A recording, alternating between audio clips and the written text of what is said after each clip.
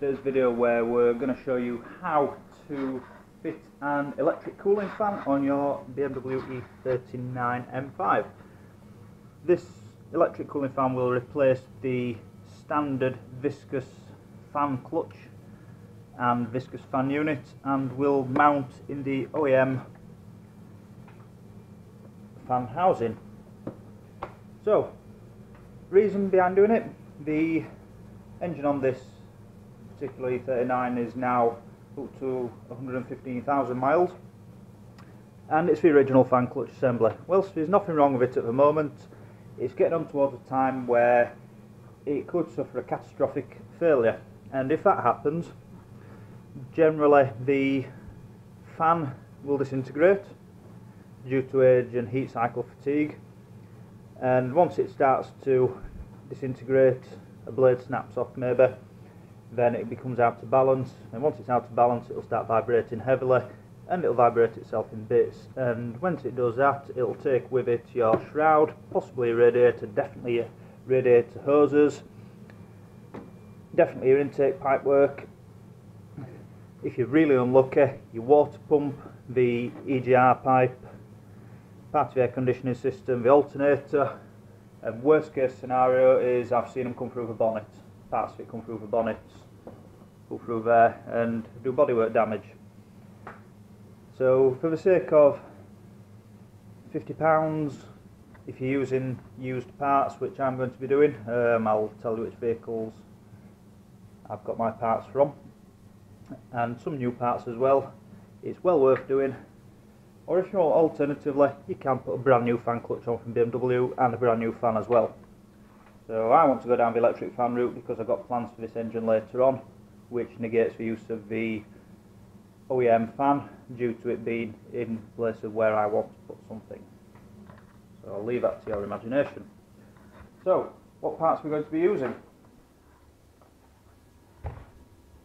A two-stage fan off a Volvo 850, S70 or C70. It's the Mark 1 version, which is direct driven. It's two speeds, so you've got one wire for ground and two wires for high speed and low speed. This particular fan cost me £20 off eBay and that's about the going rate. You can buy the later model which has got a silver box on it which is the fan speed controller but if you're going down that route then you'll need to feed it a pulse wave modulation signal based on the engine temperature and that just gets far too complicated because you have to start buying special control boxes and having a feed from the ECU for your engine temperature things like that which is vastly complicated and something we don't need to do. So on this one we're going to be using a readily available adapter for putting a temperature sensor in. I'm going to be using a 185 to 200 degrees Fahrenheit sensor or in English that's approximately 82 degrees to 87 degrees off the top of my head without using a converter uh, which is fine because the OEM thermostat opens up at 79 degrees and the coolant temperature generally in warm weather sits around about 80 to 83 degrees um, on a run with the air conditioning system on. With the air conditioning system off, it'll drop down to about 8, 80 degrees. So that's what I'm aiming for temperature-wise for my fan turning on and off. This is a 40mm unit. You can buy them in all sorts of different flavours. Cost 4 quid off eBay. Turned up in a day with free postage, which I'm quite surprised about. Probably cost them more to post. It's made of aluminium, anodised in red. Not particularly fussed for colour. You won't see it because it's going to be bottom hose. If I had a choice, I'd have bought a blue one to match the car, but there was no choice available for that price. So your temperature sender unit screws in there, 3 8 NPT, with a little screw there for an earthing point. Now, you're going to need to use that and you're going to need to affix that to a good earth point on your vehicle so the temperature sensor will work.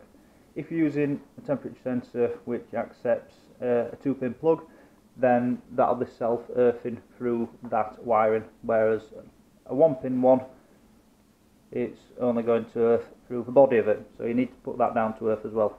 Couple of new Jubilee clips, pennies from Eurocar parts. Make sure you get right size ones. These ones are 35 to 50 mil. Then a bit of wiring and a relay, heavy duty wiring because the fan draw on this, sorry current draw on this fan when starting will be about 25 amps on low speed and well about 20 amps on low speed and about 25 on high speed. Now it's quite a lot of current you need heavy enough wiring to be able to support that because if you don't use heavy enough wiring then it's likely to get really hot due to the current heating up the wire as it's trying to suck more more amps down the wire that it can safely carry.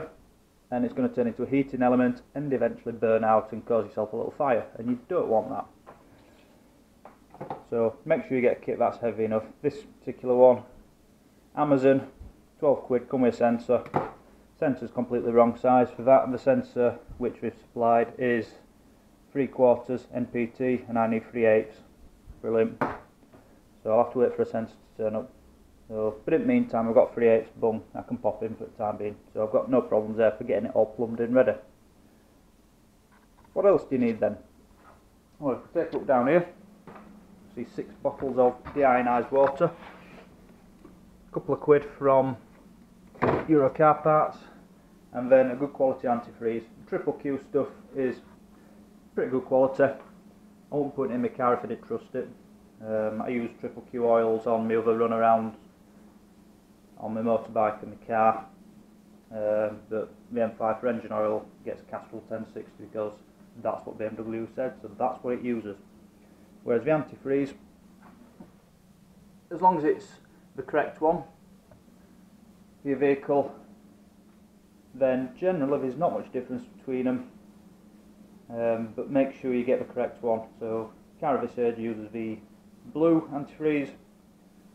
Later models um, when you get onto the E60 and the F10, they use OAT antifreeze, which is red.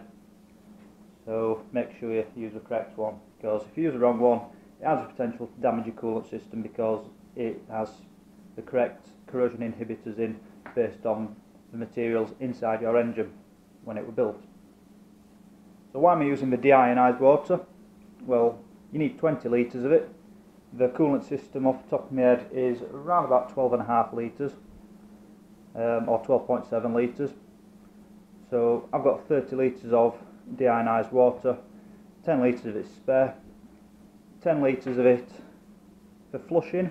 So once I've drained the old antifreeze out I'm going to flush it out with deionized water then drain that out again once the engine's been run and warmed up and then drain that out then refill it with the new antifreeze and the deionized water as well. I'm going to fill mine up the ratio at 33% antifreeze, 66% deionized water, which will give me engine protection down to around about minus 20. Now, the car's never going to run at that sort of temperatures outside, so I'm not 100% fussed for a 50-50 ratio. Um, if I did 50-50 then it'd be down to about minus 36 degrees. Our friends in America, where they have some really brutal window, windows, brutal winters, they'll need to use specialist antifreeze which has temperature protection down to minus 35, minus 40 degrees Celsius. Not quite sure what that is in Fahrenheit, I know it's damn cold.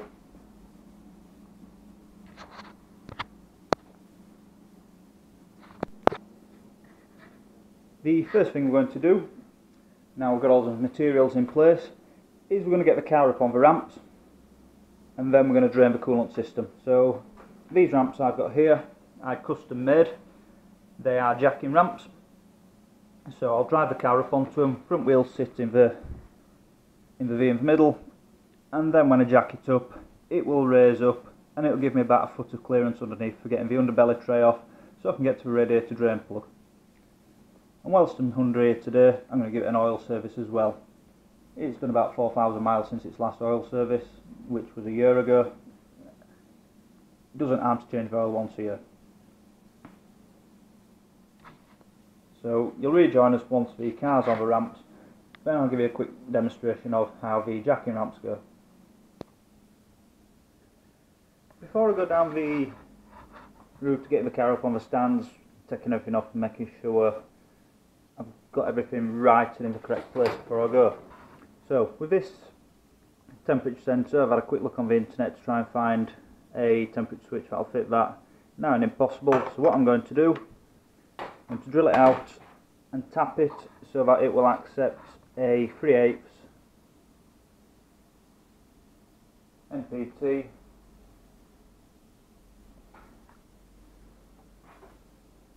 tap. Bollocks, put that shit. Right. So with this, um, bollocks, put that shit. So before I get the car up on the stands, um, want to make sure I've got everything in place, ready to rock and roll. Had a quick look around in my toolbox and I can't find a 3 eighths uh, bung to fit in that. Sorry, apologies, 1 eighths bung to fit in that. So what I'm going to do is I'm going to drill it out to accept the 3 quarter BSP adapter which comes with a temperature sensor. And then that'll screw into there. Then it'll be completing the unit. To do that I'm going to use a imperial step drill and take it right up to 3 quarter inch.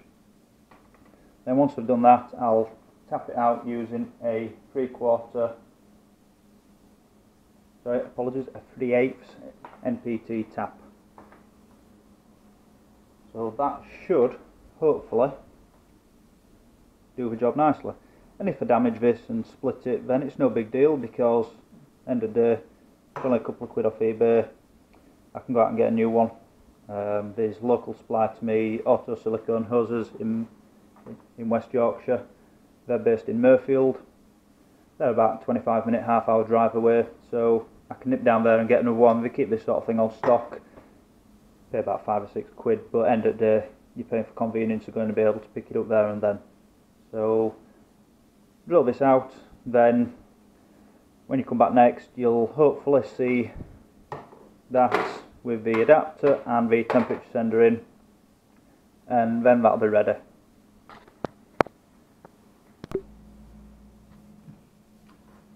So now we've got the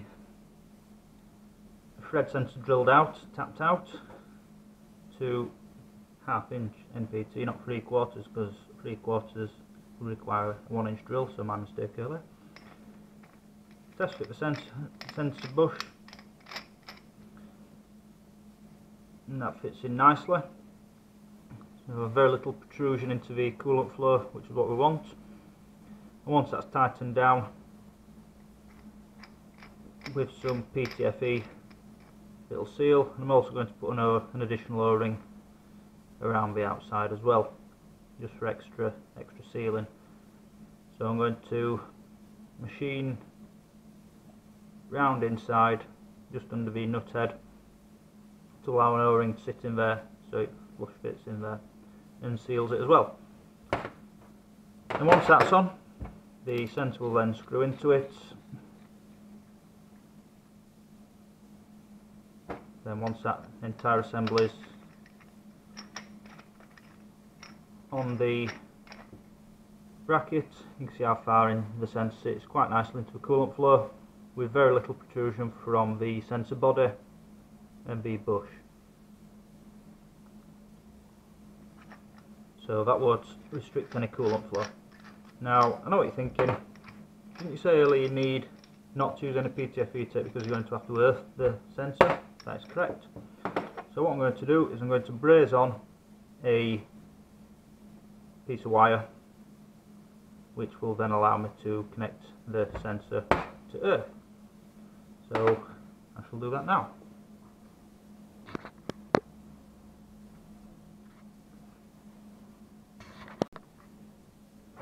So previously I soldered a wire to that filled it with threadlock, threadlock, uh, PTFE tape, put it in here, and I wasn't happy about it.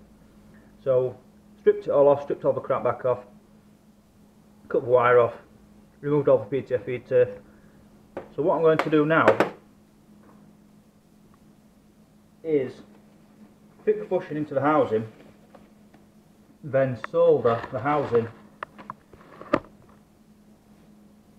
into the aluminium, sorry, solder the bushing into the aluminium housing. Now, the astute amongst you will obviously know that solder doesn't take very well to aluminium. I'm not looking for a mechanical connection, I'm looking for a seal. Now, once this is screwed in here, and solder is applied all the way around, it will flow down the threads and go all the way inside it. And then once it cools it will create a seal. That's what I'm looking for. I'm not looking for a mechanical connection I'm looking for a nice tight seal which is going to be a guaranteed damn sight better than using PTFE tape. So to do that get this red hot.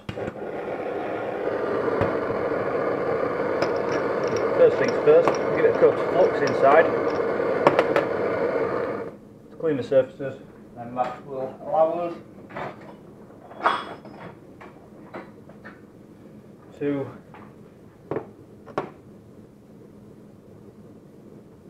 solder up inside as well.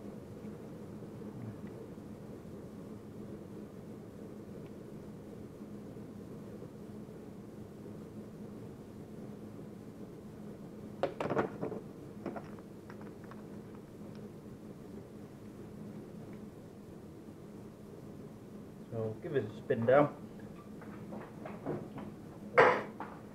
tighten it up. 22 mil spanner. Not going to make a tight with it because we still want to be able to get some solder in there. Then we're going to heat it up. And apply solder.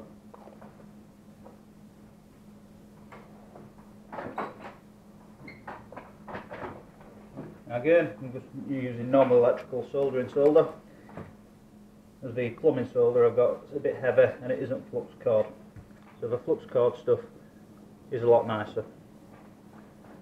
So we'll get this nice and hot first and remove that piece of wire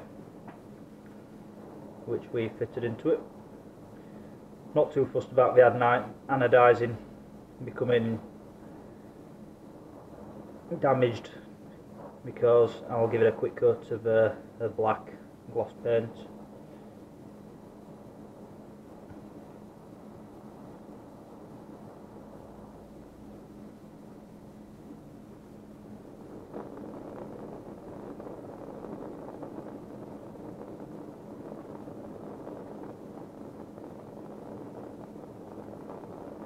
and yeah it's pretty boring to watch. Pretty boring to do. But these how-to videos show you most of the steps that you need to take.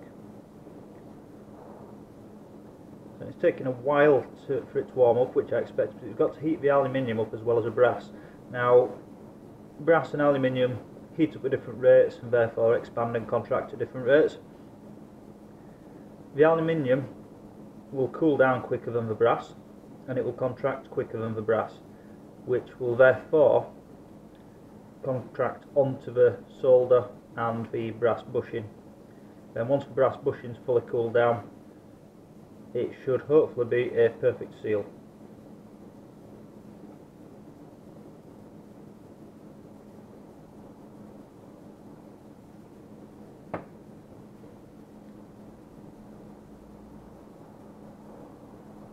So as you can see the flux is starting to bubble, so it means it's getting warm. It's taking a while so we'll break out the big guns.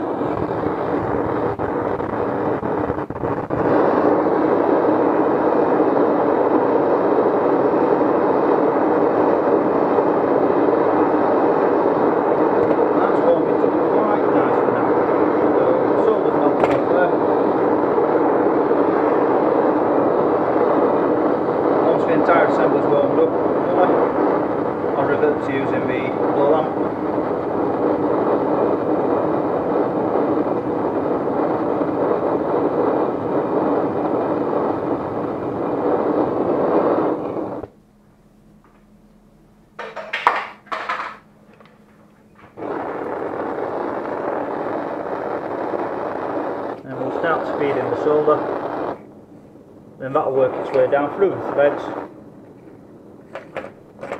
and into the inside of the housing which has now changed colour to a orange due to the heat process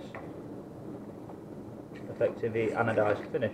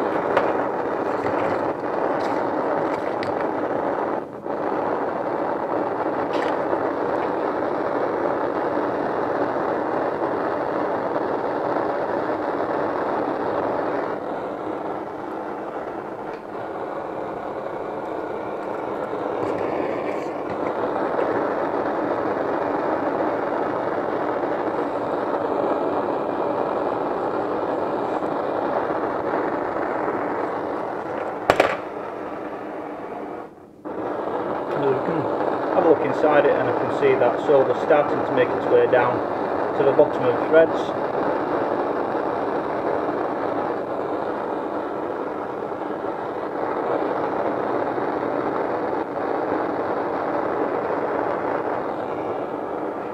Inside the housing.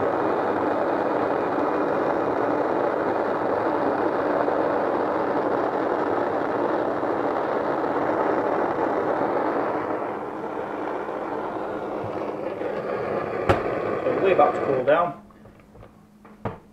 for around about 20 minutes. Allow it to cool down naturally because we don't want to dip it in water and create any thermal shock which may damage it.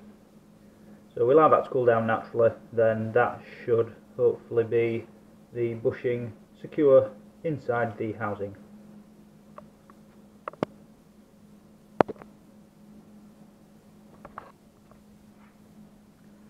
Once it's cooled down enough to pick up and handle, you can have a look around and give it a clean up, wipe all the flux off and make sure there's no detritus inside it as you don't want anything floating around your engine that shouldn't be floating around your engine. And the seal is very good. all Solder's flowed nicely through to the threads inside. Not sure if you can see that on the camera. and the hydraulic seal on that. Once it's on the coolant system. Should be perfect. So now I'm going to fit a sensor. Screw a sensor straight into the bushing nip it down by hand. And once it's done by hand hold the bushing with your 22mm spanner then tighten the sensor up with your 17mm spanner the sensor is a tapered fit into the bushing so it should be self-sealing. You don't want to tighten it too much, you want to tighten it enough so that it seals but you don't want to go too far so you don't want to strip all the threads and you don't want to start moving the bushing in the housing because that will break the seal as well. So that is now ready to fit on the car what should have been a simple take it out of the box and screw it in job. As always with things that you buy off eBay and Amazon turns into a marathon job. But it's ready to go. Next up we need to remove the viscous fan assembly to do that use a 32mm viscous fan spanner. And it is a left hand thread so as you are looking at the car you want to turn it the direction that the engine rotates. So it wants to go that way. America towards the driver side. UK towards the passenger side. And once you've done that you'll be able to remove the viscous fan. It might take a bit of cracking to get it off. What I use is a big rubber mallet which allows me to hit the spanner and then shock the nut loose. You can get a proper tool which also locks onto the water pump pulley bolts and allows you to use opposing torque of pushing and pulling to free it off.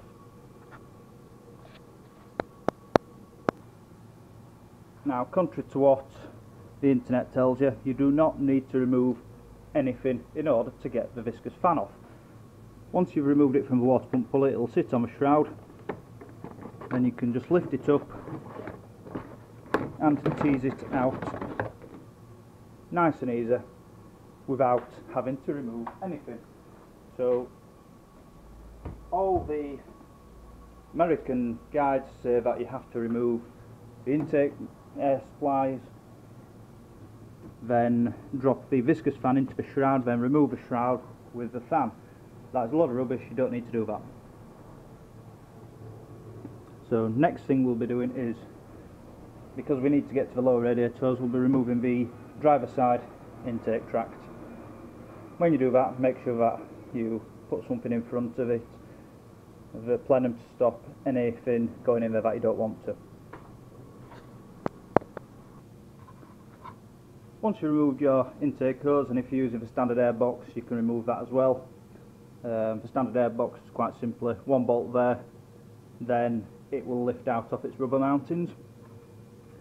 You'll need to unplug the standard temperature sensor down there, which feeds information to the ECU to tell it when to use in addition to the mechanical fan, the electric fan for the air conditioner as well to cool the engine and also the resistor block for the auxiliary fan at the front.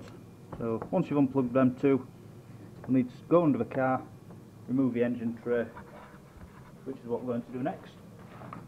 And doing that super simple once you're under here it's a case of using fuzzy screwdriver to remove one, two,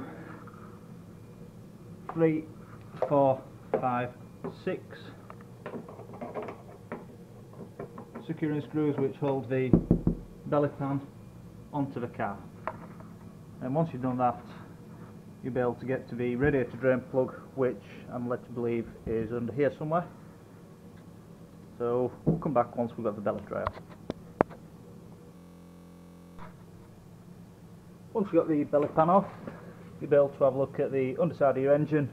For any nasty leaks or anything which is going to concern you or cause you any sort of mechanical breakdown. Uh, as you can see, under here, absolutely spotless, which is just what you want to see. It's got a slight weeping of the power steering pipe, it's just damp, but that is a common issue on all BMWs and it's one which I will address in uh, in the future. Um, I won't be going to BMW for the oil for the hydraulic hose for them uh, because that's just the feed hose for the pump system. It's only the low pressure one that's causing me any concern at the moment. I'll be making my own up using hydrofluor lined silicon hose which is designed so it isn't corroded by the hydraulic oil. And as you can see the air conditioning system has had a leak at some point as well as that's uh, slightly green from the dye that I put in to pinpoint any leaks it was the o-ring on top and that's been cured. So the air conditioning system works fine. Brand new engine mounts were fitted just before I went to the Nürburgring last year and everything else is looking good. Uh, we've got Powerflex black bushers on the thrust arms, track control arms and also on the anti-roll bar. As you can see a bit further back it's in pretty clean condition I'm 15 years old. I'm very happy with the condition of the car. As E39s are now getting onto the age where they start rusting and start costing major money. So the next thing we need to do is drain the coolant system, as said earlier. Radiator bung, half a turn, twist anti-clockwise, then pull it down, then that'll allow you to drain the coolant system. So I'm going to put a bucket underneath, then we can drain that off. If you find that once you've turned the drain plug, the quarter turn which you need to do, you find it's a bit tight and you can't pull it down with your fingers, put a cable tie through it. Then that will give you something to grab hold of and give it a good hard tug and it will come down. Just make sure your bucket's directly under it because you don't want coolant going all over your nice garage floor. There we go. So we can drain that off and any slight excess that's nipped onto the floor can always mop up. As you can see the coolant coming out of this is absolutely spotless.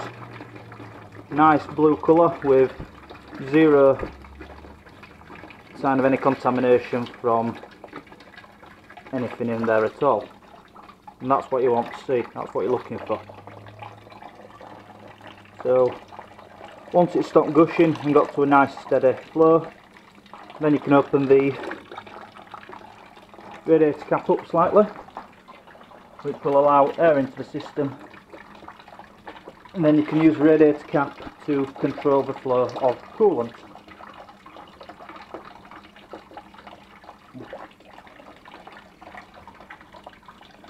So once that's fully drained, we'll come back to it. Once the coolant system's finished draining, because the vehicle's on the rising gradient as if it's facing forward, it's not going to clear all the coolant out of the system, so it's got majority of it.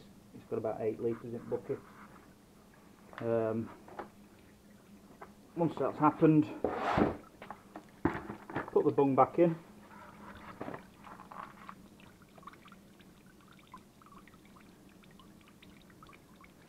into the bottom radiator.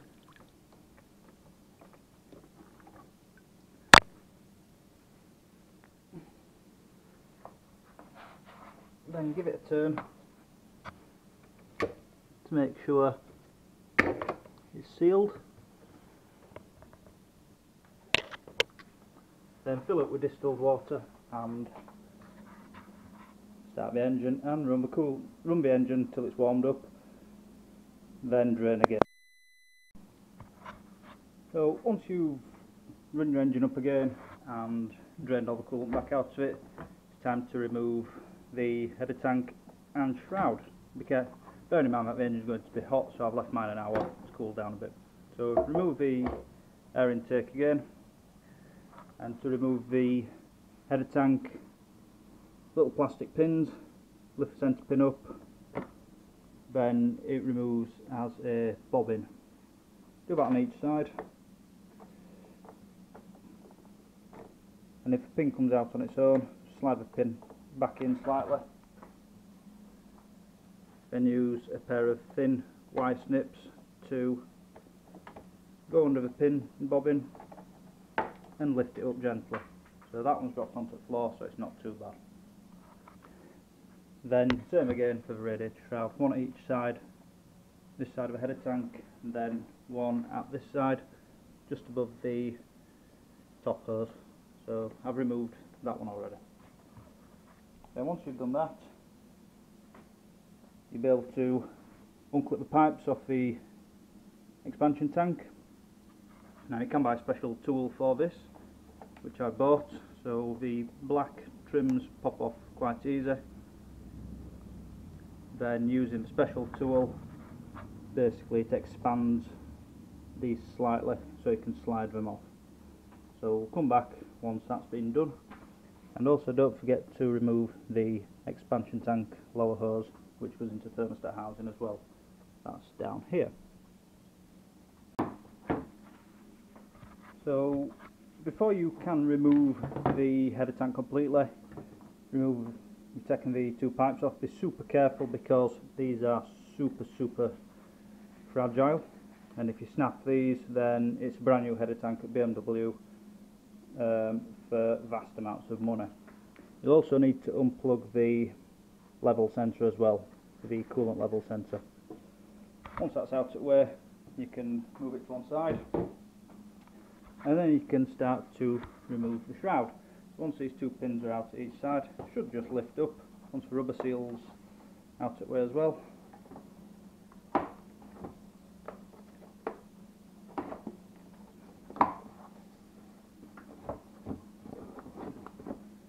And then you will be able to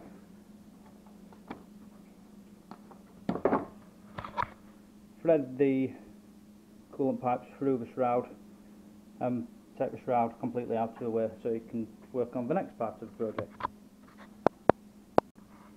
So once the shroud has been removed the only part that I need to thread through is the rubber pipe which sits on top of the radiator and goes to the radiator expansion nipple. Need to remove the lower hose. So on the thermostat side, simple jubilee clip, undo that, slide it out of the way. Make a note of whereabouts you want to fit the new temperature sensor in the lower hose. So I'm going to fit mine down here and the sensor is going to be pointing that way towards the radiator so for ease of access. And then to remove the lower hose from radiator, small screwdriver, metal clip, slide it up, make sure your bucket's under the radiator because haven't drained all the coolant out, again it's going to get very wet very quickly. Then just gently rock it backwards and forwards whilst pulling on it and the radiator hose should release from the radiator. This one's a bit tight so I'll come back to once I've removed it.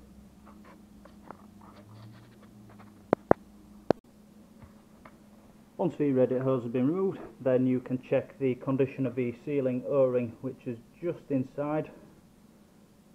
And that should be in a condition which is suitable for the use. They do flatten off with age, you can buy new ones. Um, and when you're refitting with a brand new one just pop a dollop of Vaseline on and rub it round. Then it allows the o-ring to slide over the pipe without splitting or becoming damaged.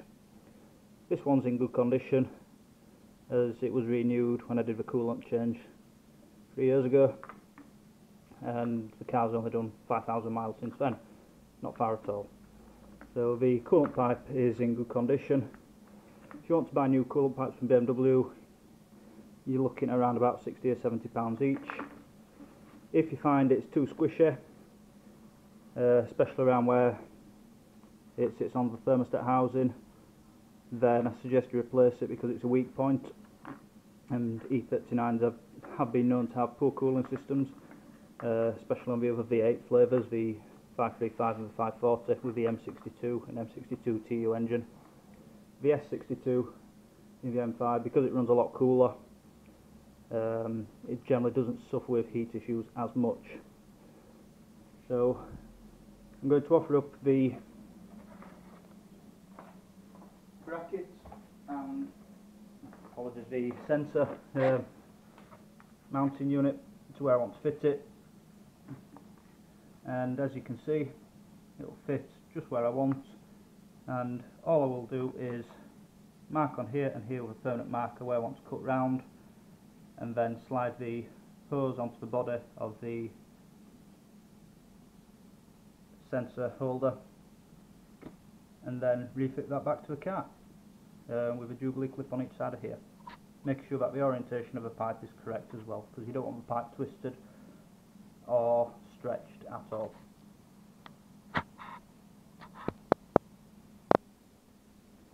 Now that the centre mount is fitted in the hose and secured with uh, the Jubilee clips, I've given the wire a coat of black tape to protect it and also make it look a bit more original so it will follow the path of an existing wire then it will go into this earthing point here just behind the driver side headlights or passenger side of America. The next job is to refit this back to the car then I can refill the coolant system. So the next job before we go any further is to mount the fan in the shroud. Now it's got approximately one inch gap all the way around. So what I'm going to do is use some pieces of aluminium brackets and make a mounting system using pieces of folded aluminium which is 1.2 mil thick all around in each mounting point then use M6 bolts to secure it in place. Now there are aftermarket fans which are dirt cheap, you can pick them up brand new for pennies which offer these spring mounting systems that go straight onto the radiator core. It's all good and well using them but over time with the vibration they'll rub through the radiator core and you'll lose all your coolant which isn't good and the airflow on some of the aftermarket ones is nowhere near the alleged airflow which we quote. The only ones which I trust for an aftermarket brand is SPAL which primary business for them is making fans. This one with being uh, OEM part of the Volvo is made by Siemens. You can guarantee that it's going to flow what's quoted and and it's correct for being a suction fan already. So I'm going to go ahead, go ahead, make up the brackets, mount it, then in the next bit of the video you'll hopefully see the fan mounted to it. Unless anything goes wrong in the meantime, then I'll be doing a little guide on that bit as well. Now I've finished making the brackets for the fan shroud. I decided against using the aluminium as I thought that it would be a bit flimsy. I did cut some pieces up. Um, they've gone? Is anybody's guess? Uh, so I could make some brackets, but as you can see, aluminium's quite a soft metal, and even with four or five of them, might not be strong enough. So I decided to use some 2 inch bay half inch steel shelving brackets instead. Drill the holes out to suit M6 bolts. These are galvanised brackets so they won't rust but they'll get painted black. Folded the bottom ones over the shroud then drill through the shroud where the bolt holes need to go. Then the top ones used the length of the brackets to push the fan further in at the top so once it's fitted into the car, the fan is perfectly vertical instead of sat at a dodgy angle. Now, I also had to modify the Volvo fan shroud so it fits inside the BMW shroud at the top without bulging it out with potential for damage. It's just a case of trimming half inch off the top using a jigsaw, as you can see there. So what I'll do, once I've trial fitted everything, I'm going to order a sheet of aluminium then use the fan shroud as a template, cut all the way around, and then use the Volvo fan shroud as a template as well, and cut around that, and make a fully sealed fan shroud system so it only sucks the air in through the radiator instead of down the sides of the fan and back out, therefore increasing the efficiency of the fan and reducing the likelihood of any overheating issues that may occur. Next time you rejoin us, the fan shroud will be bolted to brackets and the entire assembly will be back in the car for fitment testing and then you'll be able to see what that looks like in the car and once that's done we'll be able to start looking at the electrical side of it um, whereabouts we're going to mount the um, the control relay and also the manual override switch inside the vehicle as well just in case the automatic fan switch fails to work. Once you've got the fan shroud back on the car you can have a look and see whereabouts it sits. And it's in quite nicely. The motor body has about an inch clearance between the water pump threads where the original viscous fan screwed onto.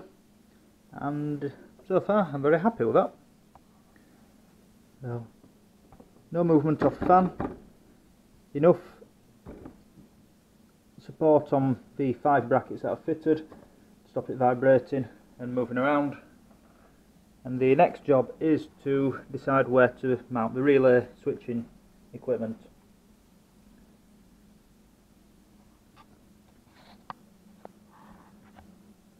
Now the electrical system has been fitted to the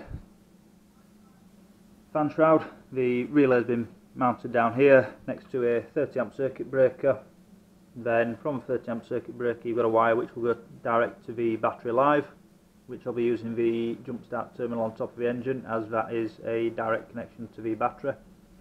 And it is also fused. Black wire running across the bottom here. That'll go to the thermostatic temperature switch inside the low radiator hose. Two other wires which we need to worry about.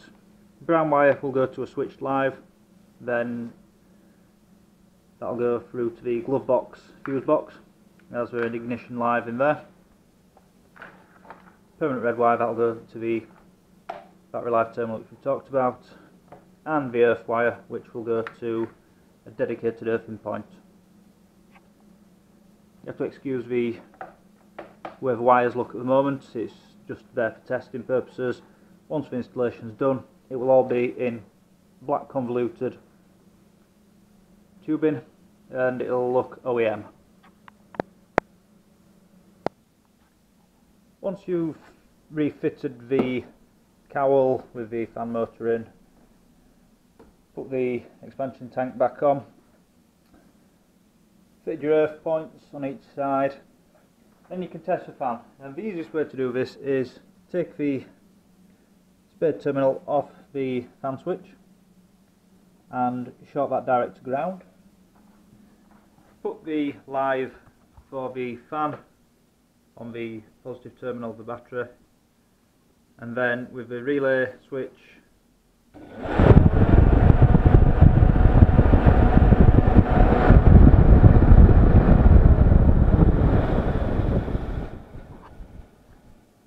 as we can hear that spins really freely. Sounds quite loud. It's pushing a fair whack of air around. And once the cowl is all surrounded so it can only suck air directly through the radiator it'll be a lot more efficient. But at the moment it sucks plenty of air through the radiator and there's no issues at all. So it's perfectly adequate for the moment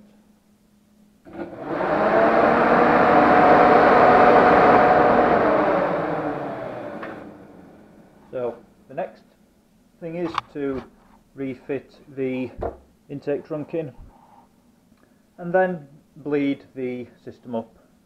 So new coolant with distilled water to stop any um, corrosion through hard water areas. So we live in quite a, a limescale um, problematic area with the water supply. So I'm going to use distilled water in the coolant system, then that'll stop any issues with any limescale build-up as well. Now the coolant system has been refilled, you can see that it is up to the cold level and when given the radiator pipe squeeze it moves up and down as radiator pipe's full, the radiator's fully bled. So the next thing to do is start the engine and allow it to warm up to operating temperature and I will unlock the hidden digital temperature display on the IKE so I can see just exactly what temperature we're running at. I've also semi-permanently fitted the live feed for the fan into the battery positive terminal under the bonnet then run it in with the main power supply along the chassis leg then up to the fan relay this one that's left over is the activation the temperature switch has been put back in. No obvious leaks as yet, but the system hasn't been pressurised. Um, so once the system's pressurised, we'll be able to look for leaks around where we created that solder seal uh, between the brass and the aluminium earlier. And whilst I've been at it, I took the opportunity to do a quick oil change as well. So when you're doing an oil change or a coolant change, make sure you dispose of your old fluids in an environmentally friendly way. Don't go pouring them down drain or down down street drains or up like that because that's just plain stupid and a bit illegal as well. Make sure you take them and have them disposed of properly. If your engine oil's clean, most garages will take it away for you uh, for a small fee. There's one down to me locally that'll take it away for free because he uses it for heating oil to heat his workshop. So I get the double bonus of getting rid of it for note and it being two minutes away. So I'm going to fill the oil back up, then start the engine, then continue bleeding the coolant system up.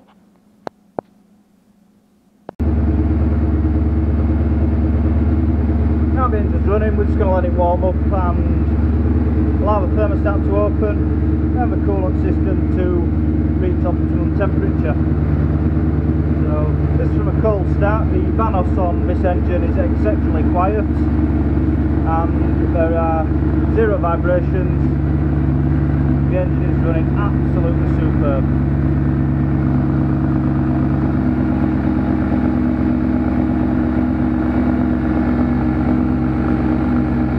As we can see inside the header tank, the flow from the radiator is coming back into the header tank and that will naturally bleed out any air as the engine warms up as well as that little point there is the highest point in the coolant system on the engine and it self bleeds through the header tank system.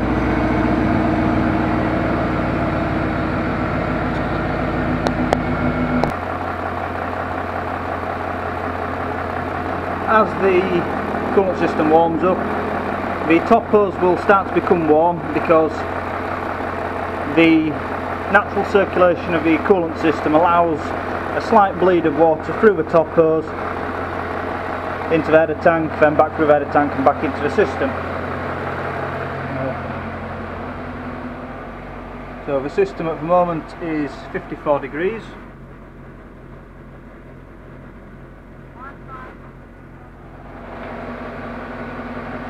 and we'll monitor that until it warms up fully and until it reaches around about 85 degrees uh, that means the thermostat's fully open and it also allow the fan to run as well.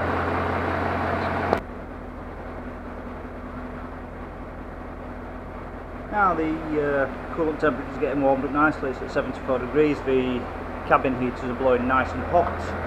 The engine's running super silky smooth. And just to demonstrate how smooth the engine is, if I place this battery on top of the engine,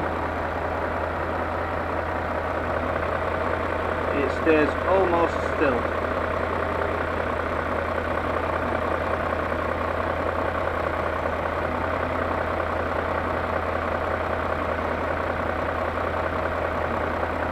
Nice and smooth. So far we have zero leaks from anywhere the coolant system and the oil system as add both in bits.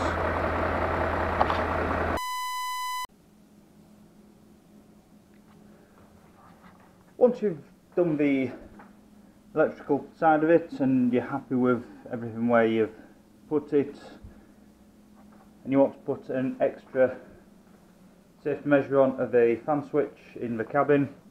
It's quite easy to do just tap into the sensor wire. So instead of a sensor grounding it you're going to use it via a switch in parallel. If you run it in series then it'll only work with a switch and the sensor. If you run it in parallel it'll work in either way. And I put my switch inside the cabin using a aero style switch next to the OBD port so it can't get knocked on accidentally and if it does it'll knock itself off so.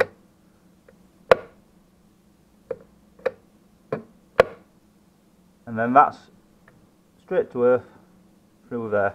So essentially it's like using the switch that's uh, controlling from the temperature. You want to put your positive supply somewhere. I'm going to put mine into a switched ignition live inside the ECU box. Now, the ECU box, if you've never had the lid off it before, it's a bit of a pain in the ass. In theory, 5mm hex keys and it should come off. In reality, it won't because these little brass bushings or little aluminium bushings, depending on what of car yours is, will have come free from inside their respective locations on the ECU box base. So, to get it off without damaging anything, you need to gently lever underneath one of them whilst rotating it using your hex key and you'll hear it clicking as that's spinning around inside its respective hole. So rotate it and gently lift. Then once you've got the front two up, you'll be able to do the rear corner next to the windscreen wiper motor, then the other corner next to the wing. And the reason why the bolts seize in is because of dissimilar metals. So these ones look like they could be steel instead of brass uh, but the bolts are aluminium so over the years dissimilar metals and corrosion occurs. It's not a difficult problem to sort it out. Because once you've done that pair of pliers on the bushing then unbolt it using the hex key. Then when you refit the bushings into the ECU housing little drop of super glue on each one and then when you refit the bolt back into the lid screw it back down a drop of grease on each bolt thread to stop it seizing again. Then you'll never have any issues if you decide that you need to go into the ECU compartment again.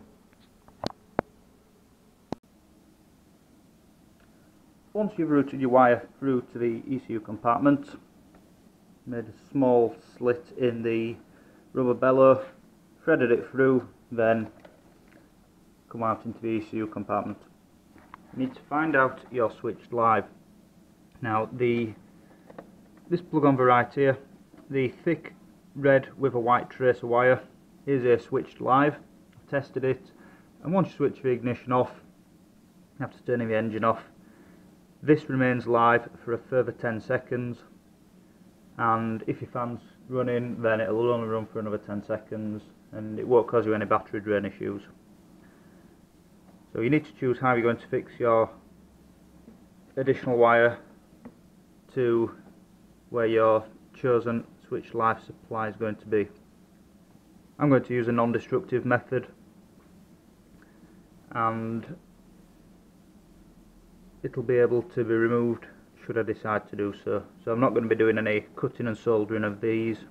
I'll be using multi-plug joining connectors to go between.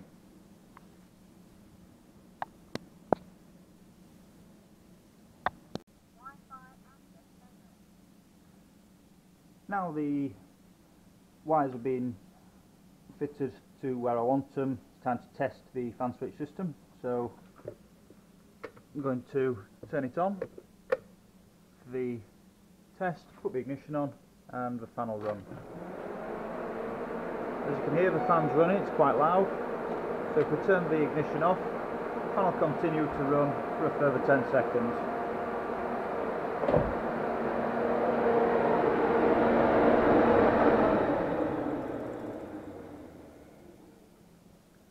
And that proves the electrical system fan side of the is working properly and proved yesterday that the temperature switch side of it's working properly as well as when I bled up the coolant system I allowed the fan to operate um, before turning the engine off. Unfortunately I didn't manage to get that on video because the battery died um, but it's the same principle as what I've just done except automatic. So what's left to do? Put ECU lid back on, um, as I said earlier pop a bit of grease around the threads as you can see and popped a bit of grease on them. The one directly below the um, bonnet hinge, as you can see, is quite corroded um, due to it sitting under a water trap. So I've made sure that there's no chance of any water accessing the ECU system. It will bone dry in there, um, but wanted to make sure. And I popped a bit of grease on there as well. So when I put it back on, in the future, when I want to take them off, I'll have no issues in getting them four M6 bolts out. Overall then the um, electric fan conversion is well worth doing. As I said earlier it'll prevent any damage from the viscous fan destroying itself and taking the top of the engine with it. Things I'll change next, once it's all taken off, um, the wiring will be covered with convoluted tubing. I'll give the fan motor a lick of paint. It's got a bit, slight bit of tarnishing on it. And the fan switch here, I'm going to change that because I'm not happy with it. There's nothing physically wrong with it. It works, it doesn't leak, there's no issues, it runs at the correct temperature that I want. But I'm not happy with it um, because it's not aesthetically pleasing due to having to use the solder trick to create a seal. Um, there's no issues with it, but it's a personal thing. So, if you've enjoyed the video, let me know in the comments. Um, I appreciate it's quite a long one because there's quite a lot to look at. And if there's anything that you might like me to do with regards to how-to videos where you're unsure of, then I can give you a hand. If you write in the comments, obviously it'll have to be on the E39 M5. But for general things that are E39 related, then I might be able to assist as well.